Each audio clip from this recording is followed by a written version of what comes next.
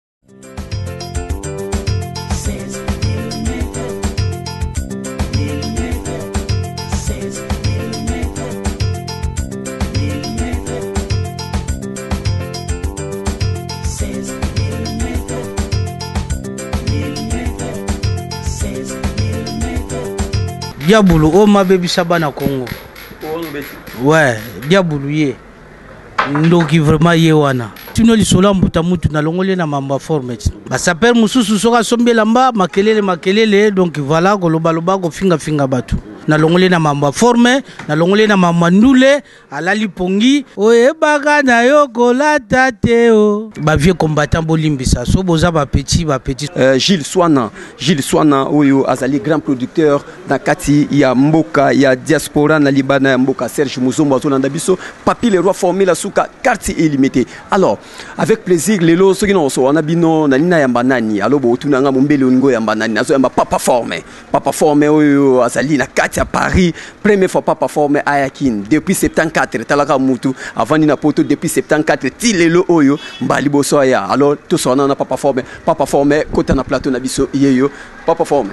bonjour. Bonjour. En tout cas, Ndombele. Ça va hein? Ça va très bien. Merci kota na plateau nanga. Euh, avec euh, plaisir vanda na plateau nanga na koyamba Papa Forme. Pa... Eh, pesa bango mbote ko vanda pe pesa bango mbote. Oh mbote ya. Hein? Yeah. Bazwi mbote. Bazwi mbote. Voilà. Ye wana le diable. Voilà. Et voilà Papa Forme aza wana c'est un sapeur na kati ya Paris j'espère que chaque temps bobana omona ye mingi mingi na papa Wemba parce que papa Wemba ayebi makambo bilamba papa euh, papa forme to mekana ko solo amuke boni voyage eleki ndeni voyage eleki très bien David Ndombele journaliste Boga Play bataille ma ba maneke comme fils Edungu les stylistes est naturel toujours bien sapé chaussures bien cirées la tendance avec la chaussette petit nanga na beti chaussette yo moto olingaka chaussette ya babeti chaussette ya yoji Et voilà, j'espère que ça bino déjà bien comment on a papa formé na biso na kini euh, papa formé. Yebisa biso voyage yo yo yo voyage pour na bilamba kaka ko taquer Léopard de la SAP ou bien oyeba masolo mosusu ezalaki na sima parce que ekamwisi biso tomoni ozwi dvd oyo avant tobeta masolo nango dvd ya album na oyo ezobeta tellement trop oke ko deposer yango na tombe ya papa Wemba evandi pe oleli liboso tombe ya papa Wemba papa Wemba azali vie na yo bozalaki na ye tellement trop avant toko yebisa biso voyage but ya voyage oyo elikini eza pona forme olobi tobengi pe bandeko wana ya leopard de la sape baya babimisa bilamba po makambo ya bilamba ekomi trop kuluna tozoyeba te qui est saper Kubuyuyu album Kubuyuyu CD musique yango eli ouais yango papa fombo ozomona te ke bato mingi na paris bazoloba ke okimi makambo ya bilamba charge eleki babilamba lelo ekomi ba 9000 euro ba 10000 euro ozokosomba bilamba lisusu te okimi oke na ndule okebeta miziki une possibilité mais nalobi te ke yango me nayebi ekoki kozala parce que mambo ya bilamba esilaka nango te ebanda nango banda kala baoyo babandaki yango baleki baye bazoya kaka bazoya biso mpe tokoleka kaka bamisusu mpe oyo bakoya wana bakoleka kaka donc eh, soki bango bazwi yango ndenge wana etali bango mais oyo eza na motu na oyo eza mitu na bango yango te eza na mitu na ngai donc batika ngai oyo ngai naokanisa bango mpe bakanisa oyo bango baokanisa oh, eske eza ya solo après niarcos parce que motu ayemba bilamba ezalaki niarcos après papa wemba après troisième yango ndenge ezobetama mais na masolo troisième ekomi ngai na ndenge nini papa wemba motu babimisa ba sapeur bakoma ba musicien papa yemba abimisa bomona niarcos banzembo ne papa yemba moto ayemba na bavie boziana banani tout ça mais papa wemba ye nde maître d'école bon niarka ayaka mpe kini nga vie wana nayebi ye te nayokaki na masolo pretre epuis nalaka na bapeti na ye oyo ye abokola oyo akolisa neti ba niengeton oyo lelo papa yomba atiki ye comme historien ya mukai donc oyo azokoma oyo niengeton azoloba yango wana nde le vrai histoire motu moko akoyela bato te ke o soki ndenge nini non gile mayindo ayebi mpo niengeton akoli na maboko ya bavie wana nayoka ba histoire ya ba vieux wana epa nienge masola forme mpe biso tobetela biso yango depuis ba afrique ti mpe tomati bamiki ah, yo ezaka poto te obanda makambo ya bilamba depuis afrique parce que lelo ekomi confusion ekoti na poto moto nyonso misa pere afrika ozalaki na yo maçon ozalaki tailleur mais okomi na poto de kozwi chance ya kokende mwa kayu mwa mi 5 ekoti saper tozo yeba esu vrai saper te do yo masola bilamba oyo tomonaka yo na, na paris do banda obanda afrika ebanda depuis ba Afrique kaka mais sikoyo ya ba Afrique ya laite oyo ya o griffe oyo soki nini wana olata nyonso kaka oyo ekobokisa yo mais eloko moko na oloba kaka maso mpe akozala na parce que ntango asalaki maso azozwa lar mpo asombela mba alata azala sapeur ata o azoteka soki bikedi o soki nini akokoma ne sapeur eza nango te ke o il faut ozala kaka diplome na famille tout, tout non sab sab c'est pour tout le monde mais koka nde zala na bamoyen oyo okoka mais sauf que lelo toza na basaper frauder basaper frauder na basaper ya kimboa donc oyo ya makelele basaper mosusu soki asombi elamba makelele makelele donc voilà kolobaloba kofingafinga bato et pourtant na minute oyo ideologie eza boye atelemaki kaka alobaki kutu rien wana ya maloba papa ye mo maître de cole atikelaki papa forme lokola alobaki ke no kodia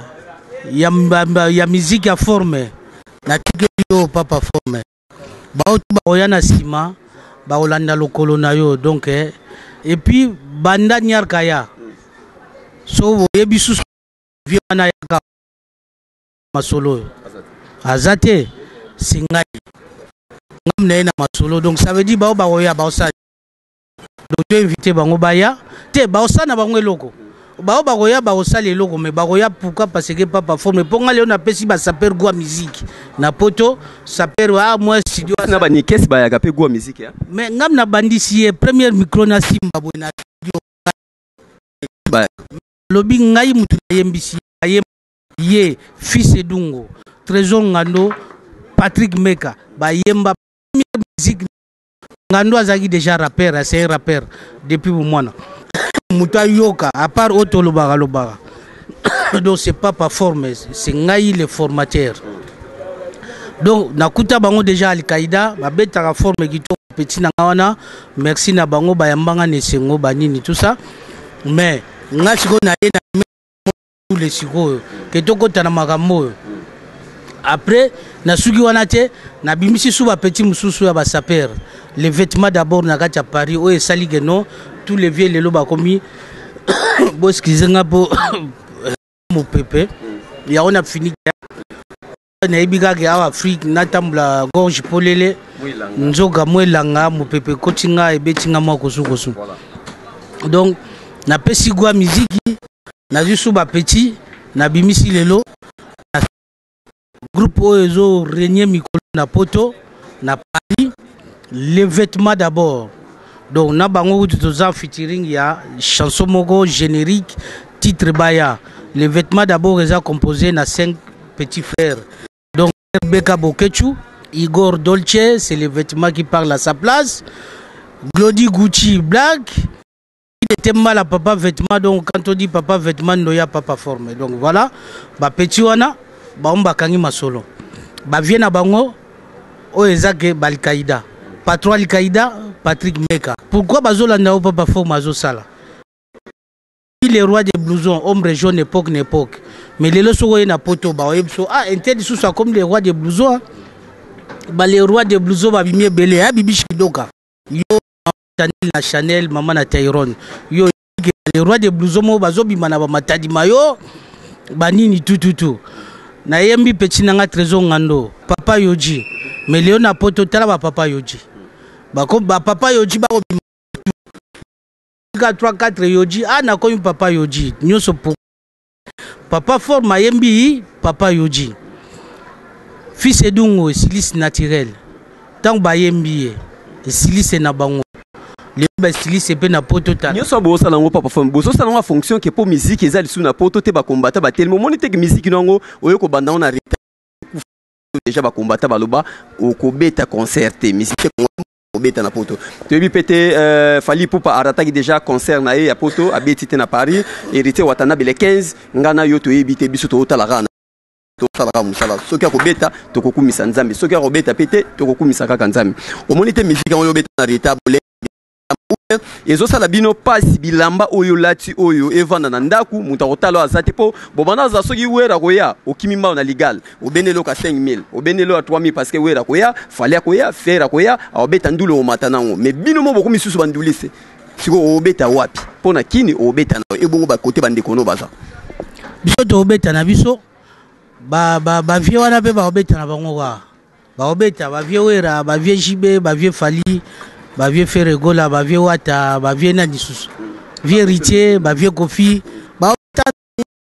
mambo yango echange nango baobe bango kaka bakobetaka na bango ndule ekozonga nango biso kutu lelo boye nde tokoti na mambo ya ndule eh, biloko ere moko etyaka mwa yeye na yango mpe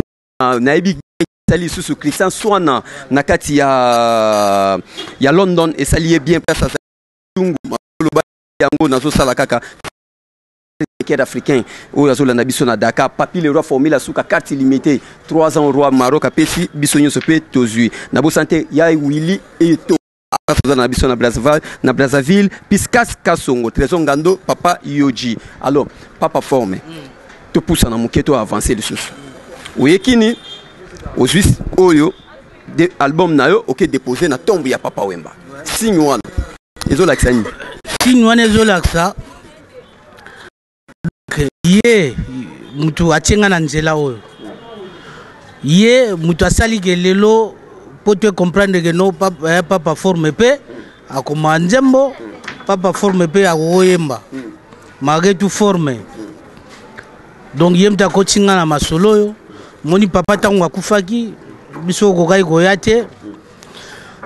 ebela bato bawelisaki na babio fele eloko wana mpe esala mabe esala mabe vrima tomeka mpe kosolola eloko na bana ozela mpe okóma na place mpo tokota tosolola ngo papa oyemba asala trop mpo na bino mpo leo bokóma basaper mpo boyeba kongo eyeba bino monde eyeba bino mais ata membre moko ya alkaïda aya te ere papa oyemba akufa Bino nioso kaka biye esali boye biye esali boye meme bato oyo kutu bakobeta masolo ya papa wemba te me bazwa ba avion na poto baya bino moko naozela kaka biye ya ofele mpo alkaida eya ebongo bilamba oyo olati oyo ya ba 50 mil ya ba 10 mil ya ba 20 mil euro oyo bokoki osomba biye te boya kunda vie na bino oyebi ke papa wemba azalaka na kanda na bino donc yango kasi nali na explike ti bato balobaki trop basekaki nalobaki yango na cimetière mpo bolandi image nyonso tu te eza baimage welisaki koya na babiofele mpo babiofele ezalaki nde lere wana par koboya babiofele koto ya makambo ebele passeport ezali na barenouvellement bamisusu mpe bazali na makambo na bango ya administration oyo eza ke no ntango mosusu moya abima tututi eza te parce que il faut osala mwa baprocédure moko boye ekozwa mwa temps Akokoma retard. Nalobaki yango elingi koloba te ke baoyo baye bango balingaki papa mingi te. Bamisusu bawelisaki na bango kaka visibilite bamonana on dire te bato oyo mpe balingaki papa ebele bayaki te mais ye moko papa avant kufa alobaki ke non ebembe epai ya bapaya esilaka avant bake na bango ti bongo biso bakolo bato ebembe esili esilaka te etikalaka mbula na mbula tokolelaka papa a chaque fois na noyawa bwando mona nga kuna ba petit tour ya alkaïda nde nalobi nalobaki mpe na cimetière ngai nayaki mpo na nkombo na bango mpe ba petit na nga tour bamasa na nga ba wilio pelela mambo de dible wa bakwafira na irlande toda l'espoir donc ti nayaki nakomi na cimetière tout ça eza mpe mpo na bino mpo bobaki koma eke na komi bolela lela te bao bawelisa ye ko namoni mpe eloko baganya te ocomprane namoni mpe eloko baganya te ebele mpe banaoza na bao na papa ngo boye te yango kasi nani nabeta masolo banda papa wemba akufi motu nyonso kaka vie bokulu tozalaka na ye meme gila roche ikuku alobaki azalaki na papa wemba patrick meka nazalaki na papa wemba Golden nazalaki na papa Wemba tonto kimbe nazalaki na papa Wemba Iris Obama nazalaki na papa Wemba mbe siko nani vuma vanda na papa Wemba boye tonto Guillembe ba forme kofanda na vieux bokul boye oyo banda ba développer bomona ba image ya studio est ce que nga na oloba nini so botali ba clip bomona tosali clip na papa Wemba na album na nga boyoka papa ayembi donc ça veut dire na wana ozala na papa bapeti wana alkaïda Bana papa nga tozala na ba petit boye ah toke na pa vieux bake pe na palais na palais bafandi pe bu mwa dejeuner o comprendre donc ba petit ya papa ya na bi que non baoyo bayaki wana c'est pas bango mais ezalaka système bawelanga nga basomba bagriffe nyonso e Mais toujours sans Zaire bayebi reglage te o oh. mpo ebele lelo bawelisa kosomba forme baolinga basomba baligal tout mais baza toujours ba sans alire mpo bayebi reglage te ebele mpe bawelisaki koya obseka papa c'est pas bango ke no bazalaki baproche ya papa c'est pas bango ke balingaka papa trop ok d'accord euh, tv eza radio te ngai nalobaka yango tv ezalaka komona mais radio nakozala na ngai na gondo naonyata information ezoleka presque partout eza na mwasi moko ya bien na kati ya paris magi chibuyi alobaki tuna nanu papa forme oyo olati eza nini parce que bato bazotala azoloba trop makambo ya bilamba makambo ya bilamba makambo ya bilamba oyo eza ni bulangeti ubi eza kaka bilamba yango toyokaka bilamba vrema yango oyo eza bagriffe nini obeti oyo bon eza noka bagriffe oyo biso olataka mingi bajaponais yoji biloko mwa ndenge wana mpo nde eza bo eza noka bayoji mais tozokotisa mwa Tosala mwa sensibilisation moko boye, tolongwa na mwa buzoba ya bo eza na bokoko hein? epai na biso ekomi lokola bokoko ke soki olati fo olobaka ya griffe ok elamba eza kaka griffe te elamba mosusu ekozala nango griffe ya danger te mais eza bien et puis ntango yo ozotanga nkombo ya griffe donc ça veut dire ozosala pub ya ya maison eke maison wana apesi yo yango gratuit te akabeli yo yango te akabelako mpe te boyebani mpe te lobi mpe ozwa likambo akoya neti voilà bon yo kaka motu fo kenda kaka koluka bango mosala bapesa biso yango wana me ngai na na mposa ya kolongwa na bowumbu wana ocomprendre olingwa nde eza charge oyo ondimaki ke foza saper so elamba ebimi ya 20 mil yo efo somba 30 mil ozomona te ke kokima oyo bazoloba ke okimi makambo ya bilamba oke na ndule yango nazoloba te te ndule nakoti yango parce que papa mpe moto akoti ngai na ndule tokoti yango mpe mpo na ba ingratitude ya bato mosusu oke papa atie ye na nzela lobi mpe akomi nde kofinga papa alo mpo na olakisa bango ke papa mpe aya na bapetit na ye tokoti makambo yango nazwi mpe moto yango na deklase ye natie mpe mopanzi nalongoli ye na mambo ya forme nalongoli ye na mambo ya ndule alali pongi baye korenforce ye ezosimba kaka te do vi azolala kaka atikali kaka via quartier okay. nazokende presque na koshite mpo tosisa émission ya biso totika bino parce que c'est le, le samedi hein? na nameka nano kotuna nano question moko eza est ce que eza mai ya solo bilambo bolataka eza ma ya mondele ubie booke turki kosalisa yango papa forme masolo ezobetama bayoji yango ekomi ya lokuta ekomi ya chine ekomi ya turki bozokende ti maroc na casablanca mboka ya bapapi le roi formule ya suka carte illimité bokomi okende osalisa bilamba apres bokendaka nango paris o oh, saper oyo oh, eloko bebimi otali eloko ya mondele ozwi bafoto na yango oke osalisi yango Bilambo ovuma ba 9000 euros wana ba 10000 oyo mundele bino bobetaka wana ke nasombi yo ja 20000 nasombi yo ja 9000 euros ezaka bilamba ya solo mbongo ya solo bie mbonga mayuya makambo oyo ifo kaka na ozela un jour number wana oya kin na ya tozala na ensemble force italia jansi mayasi mpo ye babi force italia jansi mayasi force italia number one donc na osala kaka tout Ah, Jansi Mayasi, oke kini kan, o decembre no ke na yo. Bo bo bo bo bo bo mona ba bilamba musu ba ba sombaka ba valeur nango ba niveau nango. Omoni mingi ta musu to yaka awa na mitie parce que komi longola longola trop kambote ko. Na mitie. Donc mingi bayaka awa er moko ta musu ko fente bato. Mais mingi bayaka mona balobaka te babimaka mpe te omone mpe te mais mambo ekuba yango omoni ntango natangeli yo banumber one jansi mayasi force italia do mokolo na mboka oyo lokola ye alingaka oloba te ngai na oloba ya ozala pene bomona badictionnaire ya forme lokola bababe maziku donc ngai nafandi wana bango bafandi wana bomona omoni bato ya makelele fo okebaka na bango ebebi paris ekomi tout le monde sapere Ba sapeurs fraudeurs bakomi ebele, Guillet Mayindo ayebi, soki nazongi il faut to expliquer batu ba nani ba sapeurs fraudeurs na ba vrais sapeurs. Po sap esengaka l'art toboyi te. Mais lelo batu mosusu nde balobela forme yango yango te. Eh, bazokosa batu trop. Yanebisi bino lisolo ya mbuta mutu nalongoli ye na mambo ya forme ti. Muta mutu alata ne bien te. Mais akosaka bato oyo ye mfumu ye nani ye nani. Modogo jamfa kofere. Yeah, yeah. Na comprena yo oyebaka na yo kolata te o to comprena yo oyebaka na yo forme te o To comprena yo oyebaka na yo kolata te o lelo yo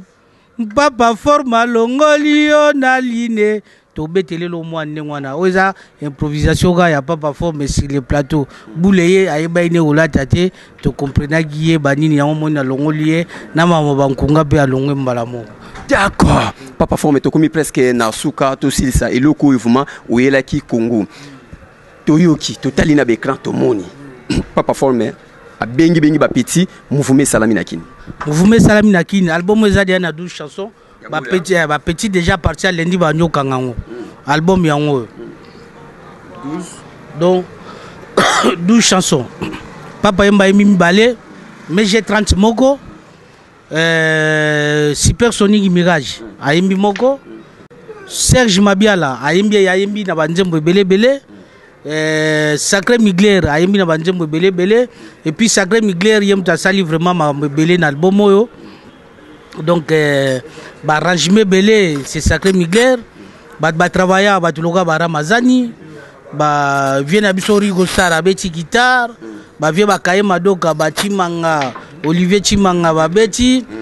eh, banani wala muzika ya lox alexi alexi ya zulino ba beti donc boulot esalami wana ndenge moke te album oyo elie lar mais elingi eloba te ke fo na récupérer lar na récupérer wana parce que topeyaka ba forme mosusu efanda nango na palais omona mpe 10 ans o récupéra no mbongo ya forme yango tolata yango mpe ntango mosusu trois fois un jour mpo omona okabi yango donc mbongo ebebi aya kosakana te producteur alibomo se papa forme makambo tu ngai na bapeti na ngai alkaïda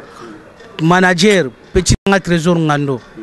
ocomprendre donc bamasa alkaïda onalinga nayeba mpe alkaïda sikoyo so motu mpo motu akota condition ezalaka nini pokota na alkaida wana omoni ke wi nga mpe mwa bilamba eye eh, christian swana aza mpe na mwa bilamba na yabi kenda nini akota alkaida bino siko condition na bino ezalaka nini parce que bosalaka mwa clike moko boye ekangama bongo bolinga kokotisa su bato te te alkaida lelo ekoma nango tout le monde aza neka alkaida soki alataka ne bien kala ezalaki na ba condition il faut payer fort mais bamono mpe ata 3 4 collection ya kolandisa tatatatata okoti mais après patron ye moko ya alkaida yako décide autrement patrick meka alobi ke non eh, toboma bacondition wana donc mutu tu oyo alataka bi azali kaka alkaida mutu tu azoboma na masolo ya forme donc azali kaka alkaida totelemaka na biso mpe mpo eza nango mpe alkaida masolo ya bilamba mpe babeta yango ya ovanda vrema te tokóma na biso mpe presque na suka donc patrick meka décida eke tout le monde même mutu euh, euh, moko aza na kini abetaka mpe bien kokota soki abetaka bien soki akosaka bato te mpo toboyi nde bato ya lokuta soki akosaka te aza nde kaka alkaida okay. voilà. biloba nini ah. na bafan na nyonso bauta le monde paris mobimba bayebi ke papa forme aza na kati ya kini nde kaka nalobi donc nazali ya liboso oyo miziki ya forme aye kin aosala promotion album Ba petit na nga tout oyo bo koti na mamwa ndule oyo bo beta forme plaisir à trop kosu kosu mwa muke bo forcer nazo bénir bino na opesa bino ba bénédiction bolanda toujours lokolo oyo papa forme azo sala groupe na nga ndenge eza boye nga so nazongi ntango na oya naoya sikoyo tosala sikoyo presentation ya album mm. sikoyo naye kolakisa bato mais il faut na présente yango mpe na presse mm. après kopresente yango na presse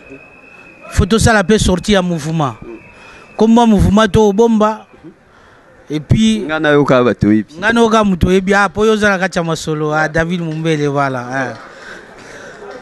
Kumba mouvement to bombi po yo po vota yango. D'accord. Hmm. Wala pe na réunion ah na bosani mambo ebele ozalaki. Kumba mouvement to bombi. Hmm. Lieu oyo ya repetitando pe hmm. toloba nanu te tobombi tant tokoma après Temps mususu jour ya conference de presse mpo na kopresente album oyo na presse mm. congolaise mm. wana nde tokoannonce tout mm. date e lieu oyo ya sortie ya mouvement na baprécision mosusu donc yo kutu kozala parce que yo oza kolo makambo déjà petit na ngai fils edungu ndenge nalakisaki yo la tendance avec la chaussette Na beti chaussette yango oyo bon voilà donc na pesi mbote na ba masta na nga tout Cyril Kina Spadjara Tembo euh, bana G7 wana bana G7 avec Clam Clam Franchi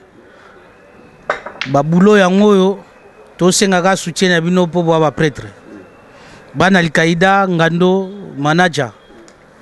fils edungu le stiliste na bango patrick meka ombre jaune patron likaida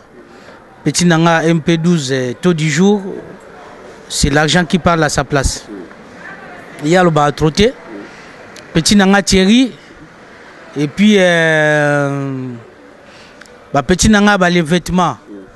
moi liloba te liloba eza te pona ba combattant po yo bandi ndule non comme bandi ndule il faut ba combattant pe ba fongola mutema po yo po kita mikili o bando beta bandule bongo wana eza likambo ba oboya ba combattant ba eza ka likambo ah ba bo tika biso beto beta ti bon don na sansa pardon sengene te pardon mais bongo siko to sa nini mais bon nga ba pimeli na bango beta te mais tosenga kaka pardon kaka ti bongo so moto akangi yo mitif osenge pardon mpo abiki so eza problème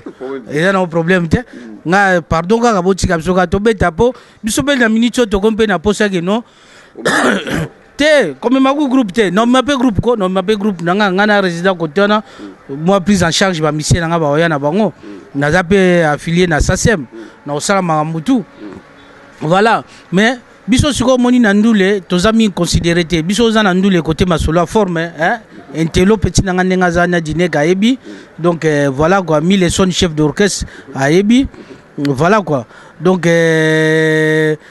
sikoyo makambo mpe eza ndenge nini mposa na biso eza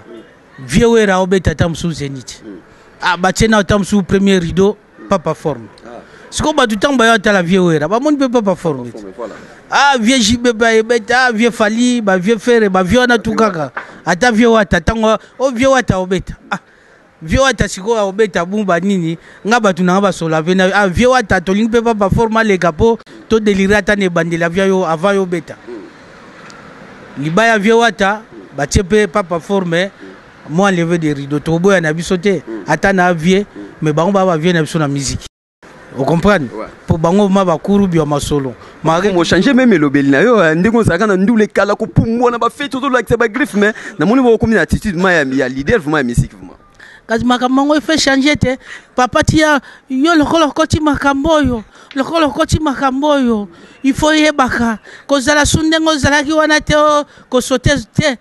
Il faut ozua ligne ya makambo. Atelemaki kaka alobaki kutu rien. Wana vieux moto aloba na ngai ndenge wana. Merci. Voilà, o comprendre? Donc tozui kaka makambo yango, problème eza te. Ba, ba, ba vieux combattants bolimbisa so boza ba petit ba petit so mpe boya ba vieux ba vieux combattants bo comprendre kaka donc eh, biso osala ata boulot na ba vieux na biso wana oyo bayebani trop koleka biso ba vieux quadra kora ozo comprendre hein vieux quadra pa obeta pa ba forme pa oleka ah vieux ah, petit nanga bon yo beta lever des rideaux na beti pa lever des rideaux nanga voilà c'est papa formé na micro ya David Mombele MCC Kosi na Yuda aza premier musicien sapero asenga pardon pa ba combattants so bofongoleli bango mpe motema parceke akomi na bagroupe ya bafali ya bafere ya bajibe ya bafabrigas aza na kati ya groupe yango papa forme aza na kini séjour na ye eza lisusu mingi mingi te mpo toza na kati ya biro tozoyeba gene ndenge ezotambola akotika biso mpo aya kozonga lisusu akomi kaka kini eza te ndenge akangamaki liboso ta molai efo banosa cheval kini mikili kini mikili merci na gilles sana oyo aza le grand producteur na kati ya Euh, diaspora euh, producteur monene Gilles Sana merci lisusu na Christian Swana oyo papa na Hervé aza na kati ya London azolanda biso fils Edungu masolo ya vie na yo yeyo omoni ke toyambi ye plateau na biso to déranger vraiment te vie na Serge Muzombo mais checké de l'Afrique centrale papi le roi formé la souka carte illimitée papa fort azali artiste Kaska Songo merci oh. Trésor Ngando place ozali ba petit na nga ba piskas kasongo Michel Lutumba Michel Lutumba Heritier Kamawel ba petit masolo yango petit na nga Heritier kote no yango kopalangana kutu te ba maza ya yo sololaka Voilà. Eh, merci Susuna Irène Kazadi place azolanda biso Roland euh, élégant Roland élégant merci nayo Idriss Iris Obama merci tonton Kiembe merci Guy Laroche Ikuku tonton Baforme merci Lissusu Patrick Meka merci Lissusu Nabo Sainte yi place azali merci merci na jesi ma fille place azali mama mwana na magi chibuyi c'est parti avec papa forme c'était david mombele m6 kosi na yuda des fois parent français tonton mwika mema biso na direction paris avec papa forme yeyo toleki c'est parti